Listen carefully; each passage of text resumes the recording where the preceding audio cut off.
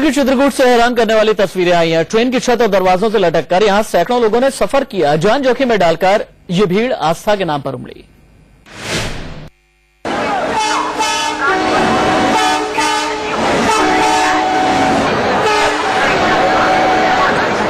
Train की छत पर सैकड़ों लोग।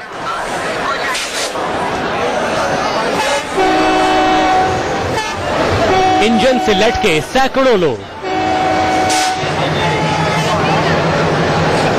ट्रेन के दरवाजे पर दर्जनों लोग। ट्रेन रुकी और लोग टूट पड़े। अंदर तो पहले से जगह नहीं थी।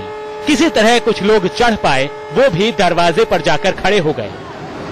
इसके बाद दोनों तरफ़ से मुसाफिर ट्रेन की छत पर चढ़ने लगे। लड़कियाँ और औरतें भी छत पर जाकर बैठी। देखिए ये जनाब छत पर नहीं चढ़ पा रहे हैं तो कपड़े के सहारे इन्हें ऊपर खींचा जा रहा है। जिन्हें छत पर भी जगह नहीं मिली, वो इंजन के दोनों तरफ़ लटक गए। इतना ही नहीं, यहाँ रेलवे ट्रैक पर सैकड़ों की भीड़ जमा हो गई। पुलिस वालों ने इन्हें रोकने की कोशिश भी की, लेकिन लोग हैं कि मानने को तैयार न थे। हम तो लगातार प्रयास कर रहे हैं कि ये कोच के अंदर सफ़र करें, किंतु अब ये एक तो धार्मिक आस्था है दूसरा हम लोग इतना प्रेशर भी नहीं दे सकते कि ज़बरदस्ती खींच के नीचे करें। कह ही सकते हैं तो कह रहे हैं उतार रहे हैं मेहनत ये तस्वीर देश के बड़े राज्य उत्तर प्रदेश के चित्रकूट की है। सोमवती अमावस्या के दिन यहाँ मेला लगता है।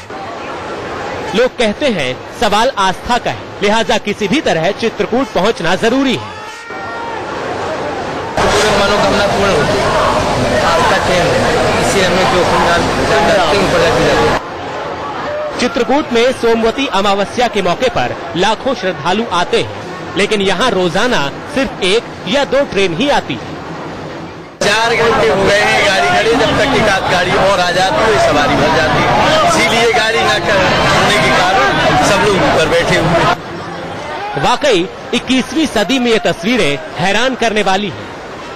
लोग जान जोखिम में डालकर आस्था के नाम पर सफ़र करते हैं। मेट्रो ट्रेन के युग में लोग ट्रेन में लटक कर और छत पर यात्रा करते हैं। हैरानी इस बात की भी कि सरकार और प्रशासन न तो श्रद्धालुओं को जागरूक कर पाता है, न ही इनके लिए स्पेशल ट्रेन का इंतज़ाम कर पाता है।